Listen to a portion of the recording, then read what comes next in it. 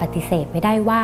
กล่องโฟมเป็นบรรจุภัณฑ์ยอดฮิตที่ใช้ใส่อาหาร แม้มีคำเตือนจากหลาย ๆ หน่วยงาน ถึงสารสไตรีน สารพิษตกค้างที่ละลายปะปนมากับอาหารร้อนๆ ที่เรารับประทานกัน และนั่นคือสาเหตุสำคัญของมะเร็งเม็ดเลือดขาว และมะเร็งต่อมน้ำเหลือง การหันมาใช้กล่องบรรจุอาหารที่ทำจากธรรมชาติ หรือภาชนะบรรจุอาหารก็เป็นอีกทางเลือกหนึ่ง แต่ข้อเสียคือ ต้นทุนที่สูงขึ้น และความสะดวกสบายที่หายไป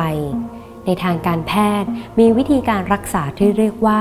chelation บำบัด เป็นการล้างสารพิษ หรือสารโลหะหนักตกค้าง ทั้งจากอาหารและมลภาวะต่างๆ ที่สะสมอยู่ในร่างกาย ซึ่งอาจไปเกาะอยู่ในผนังหลอดเลือด ส่งผลให้เส้นเลือดตีบลง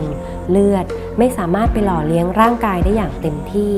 การทำงานของอวัยวะต่างๆ จึงทำงานได้ไม่เต็มประสิทธิภาพ ก่อให้เกิดโรคต่างๆ ตามมา